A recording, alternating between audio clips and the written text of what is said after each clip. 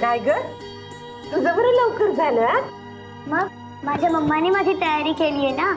ती खाली सुद्धा गेली. आमच्या दोघींसाठी दूध आणायला आणि आमचा टिफिन भरायला. हम्म, बरी चला काय ग तुझी मम्मा? चला चला. अस्मी तन्वी पटापट दूध पिऊन घ्या हे घे. मम्मा हॉर्लिक्स टाकलेस ना? हो ग बाळा हॉर्लिक टाकूनच बनवलं. पी. केवढं कौतुकाने करतेस ग दोघींचं बी. तुझं वागणं बघितलं ना की कुणाला बी खरं वाटणार नाही. तू हिची सावत्र आई आहेस म्हणून.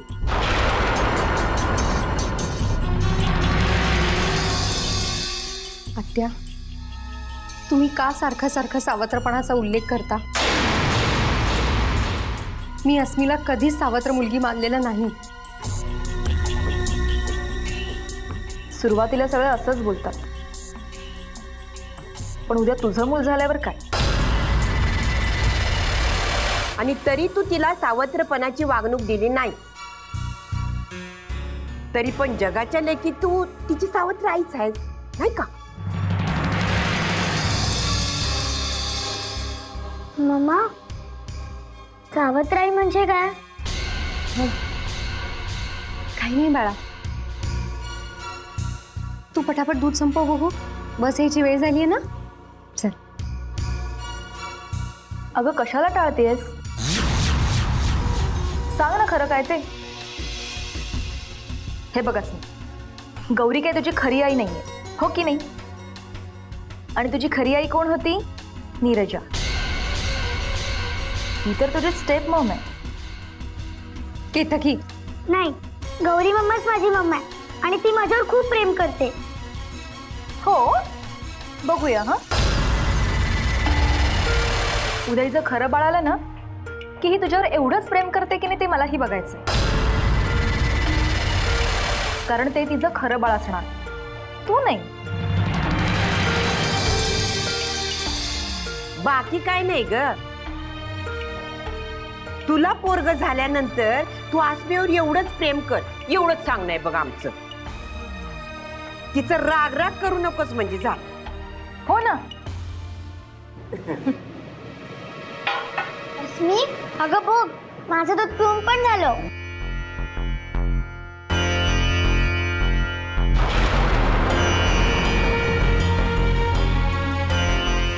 आई ग मी बरी दिसतीये का एकतर माझ्याकडे साडी नाही.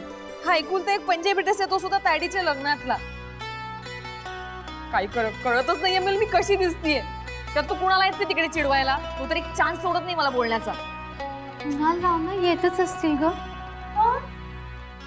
मी तुला विचारलं मी कशी दिसतीये? तू काय बोलतीयस? हं? काय झालं? तू डिस्टर्ब का दिसतीयस? नाही काय नाही. सांग ना. अगं खरंच काय नाही. मला माहिती आई. आता माझं लग्न झालं की मी पण सासरी जाणार. मग तू एकटीच राहणार घरात. तुला टेन्शन आलं असेल ना ग? नाही ग. उलट ही तर आनंदाची गोष्ट आहे. मला वेगळ्याच गोष्टीचं टेन्शन आलं. कसल्या रात्रभर डोळ्याला डोळा नाही बघ माझ्या. सरी. काही गडबड तर होणार नाही ना ग. आई ग प्लीज़ असं का म्हणतीयस तू?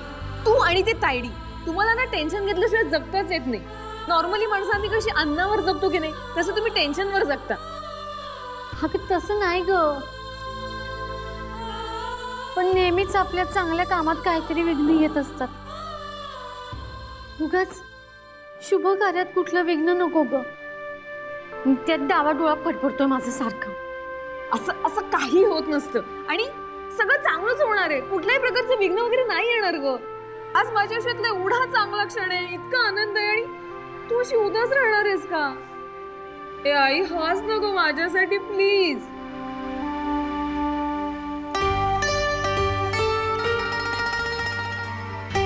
खरंच ग. चल कुणालराव येत असतील दॅट्स लाईक नवऱ्या मुलीची आई. चला.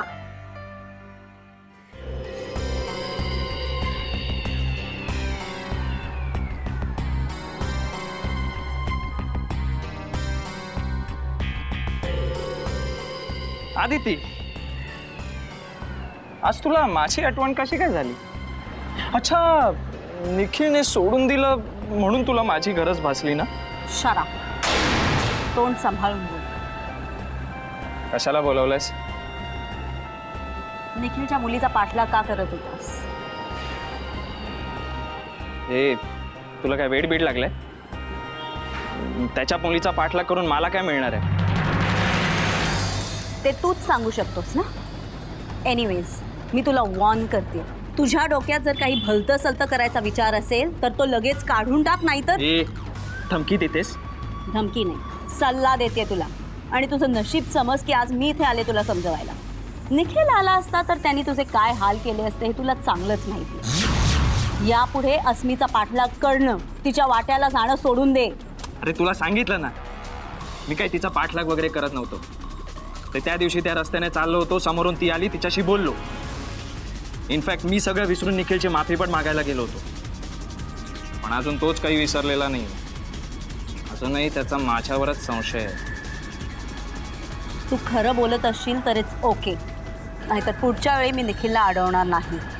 लक्षात ठेव. निखिल मोहिते. तुझ्या मुलीच्या मी जवळ गेलो तर एवढा घाबरलास तू? तू तर आधी तिला माझ्यापासून हिसकावून घेतलास. आपला माणूस आपल्यापासून दूर जाण्याचं दुःख काय असतं हे मला विचार. तुझ्यामुळे मला खूप मनस्ताप झालाय. तुलाही त्याची जाणीव करून दिल्याशिवाय मी स्वस्थ बसणार नाही.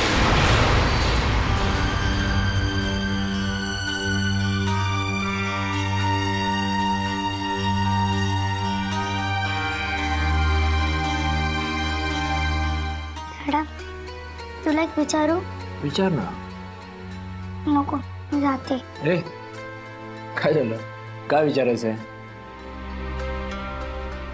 नाना सावत्राई चांगली नसते का रे? ती सावत्र मुलांना खूप त्रास देते ना?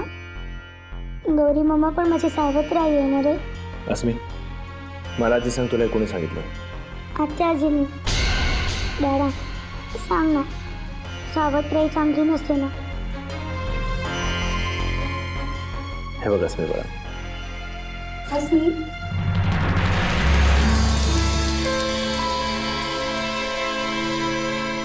चला पटापट तयार व्हा. हं?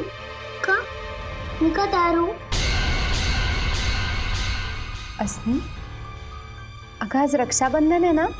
म्हणून. तुला माहितीये? आजच्या दिवशी काय काय करतात? आज ना बहिणी भावांना ओवाळतात. त्यांना हातावर राखी बांधतात आणि खूप खूप मज्जा करतात. पण मम्मा मला कुठे भाऊ आहे? असं काय म्हणतेस अस्मी? ऋग्वेद दादा तुझा भाऊच तर आहे. अगं ऋतू आत्याचा मुलगा म्हणजे तुझा भाऊच झाला ना तो? पण आज कुठे येणार आहे तो? तसं असतं तर मला आजीने सांगितलं असतं ना? आज ऋग्वेद दादा आपल्या घरी येणार आहे. आणि तू आणि तन्वी त्याला राखी बांधायची? तुला माहितीये ऋग्वेद दादा तुमच्यासाठी खूप सारे गिफ्ट घेऊन येणार आहे. मग दोन मुलींची मज्जा आहे. बरं मला सांग आपण काय काय करूया ऋग्वेद दादासाठी खायला? मम्मा ऋग्वेद दादाला ना गुलाबजाम खूप आवडतात. आणि तुला सुद्धा हो ना? हो. ठरलं तर. आपण टिकीने मिळून मस्त गुलाबजाम करूया okay? Okay. I am sorry Gauri. तुझा हा चांगुलपणा मला बाकीच्या गोष्टींकडे दुर्लक्ष करायला भाग का पाडत नाहीये? सतत तुझ्यावर उगीच चिडत असतो मी. कालही चिडलो. खरं मला तुझा राग आलाच नव्हता. पण तरीही तुझ्यावरच ओरडलो मी. पण आता नाही. यापुढे मी तुला अजिबात त्रास होऊ देणार नाही. गौरी, मी काय म्हणतो? अस्मी, अगं आपण गप्पा मारत काय बसलोय? काम आहेत ना खूप मला. आणि आणखी एक गंमत सांगू तुला? आज इथे कोण येणार आहे अजून माहितीये? सरू मावशी आणि सुमनाजी सुद्धा येणार आहेत. सरू मावशी आणि सुमनाची इथे येणार आहे हा सगळे येणार आहेत धमाल करूया. चल, चल, चल, पटकन आवरूया. पण येणार आहे ना?